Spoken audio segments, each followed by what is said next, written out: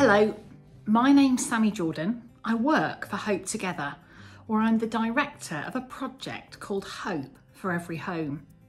We want to pray for every street, road, and lane across the UK. And that's not something that I can do on my own. I really need your help.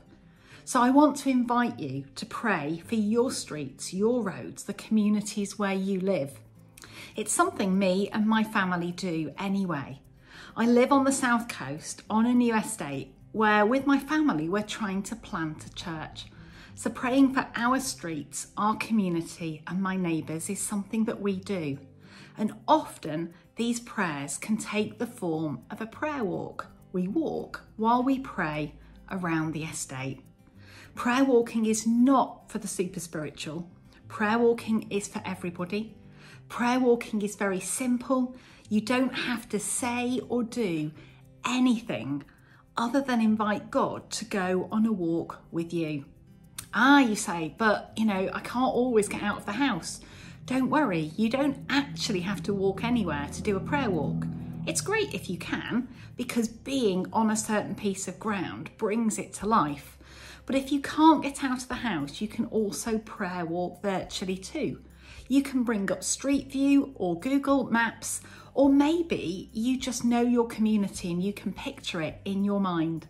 So today, let's think about prayer walking together and let's make it something that we can all do. In Genesis, it says Adam and Eve heard God walking in the garden. And when we walk and pray, we need to remember that God walks with us. For me, being physically present amplifies my sense of connection to both God and the people and place I'm praying for. I love Jeremiah 29, verse 7.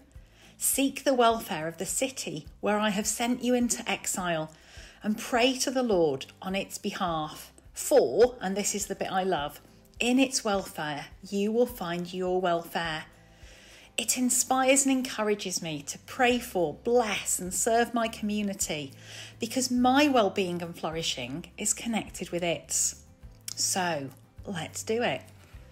As you get ready to go out for a walk, be intentional. Turn it into a prayer walk by inviting God to go with you as you open the door. Oh, and remember when you're putting on your shoes, you are putting on shoes of peace. How can you pray for peace and blessing for your community?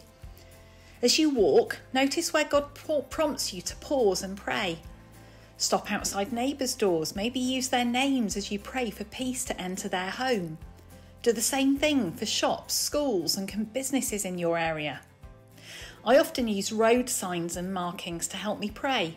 Crossroads remind me to pray for people with decisions to make stop signs or red traffic lights for people who feel stuck, amber lights and also bus stops for people who are waiting, and green lights for people who are going, people who are responding and doing something new.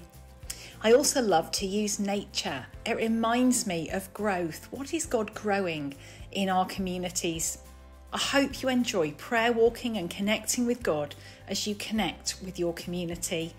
It's not complicated, it's not for the super spiritual, it's for everybody in our everyday, and it's a great way of connecting with our communities and connecting with God for them on a whole new level.